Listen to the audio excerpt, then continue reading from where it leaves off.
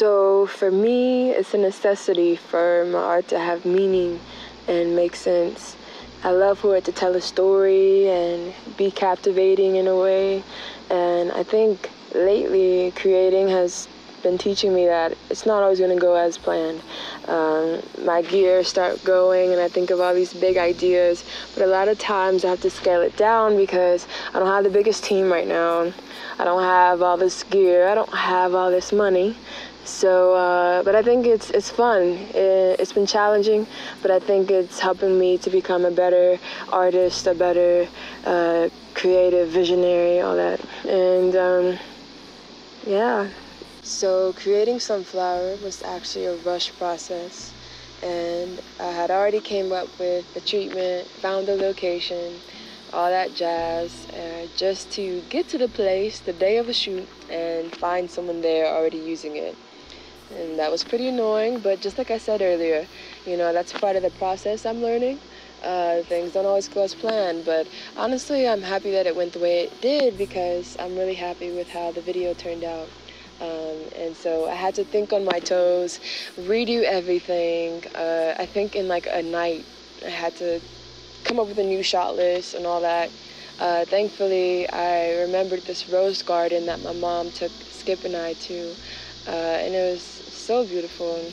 Um, but it was a challenge, and I'm sure you guys can maybe understand why, because the song is titled Sunflower, and we're in a garden full of roses. So honestly, I'm sitting here wondering how the hell am I gonna figure this out and put it together so it makes sense, because you know I have to have it make sense. Um, and I'm meditating on the meaning of the song and the lyrics the symbolism of sunflowers and roses, and I come up with this. Roses are commonly used when it comes to love. You receive them on Valentine's Day, all that jazz, and I figured, okay, he's trying to find a home.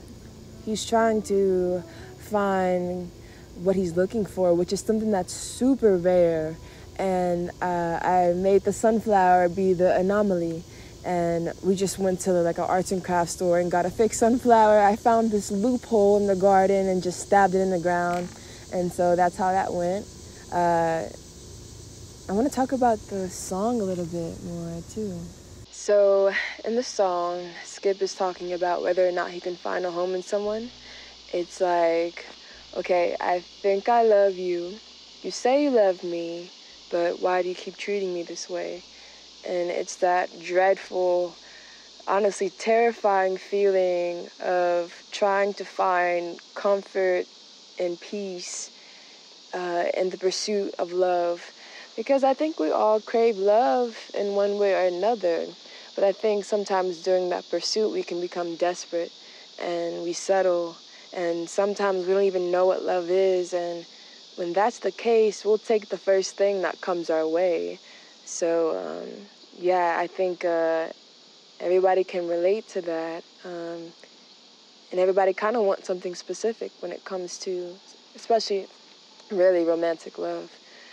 Everybody wants to find the one. I'll just say that. How about that?